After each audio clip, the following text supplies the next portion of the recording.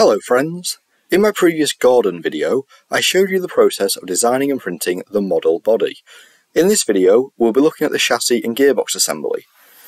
Because of the previous issues I'd faced with underpowered motors in my Thomas model, and Gordon being notoriously fast, I designed this model to use a 300 watt outrunner motor and a 2 cell LiPo battery, which looks comically oversized on this model. Unfortunately, these motors are designed to power remote control aeroplanes and have a KV rating of around 2200. This is how many rotations the motor does per volt applied per minute. Now I'm using a 2 cell battery which is around 7 volts, so at the top speed with no load this will rotate at around 15,000 RPM. This is obviously far too fast.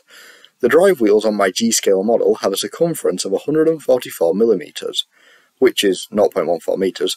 So in order to achieve a comfortable running speed around 3 meters per second, which scales up to around 100 miles per hour, which was the speed record set by the Flying Scotsman, which Gordon's based on, I need around a 60 to 1 turn down ratio in the gearbox. I've also coupled all the wheel shafts together to deliver more torque. So like my Thomas, I've tried to 3D print everything apart from the 4mm steel rods I've mounted the gears and wheels on.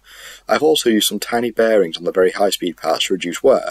The initial testing runs were surprisingly successful, both on the desk and on some track, although I had a few hiccups with corner testing,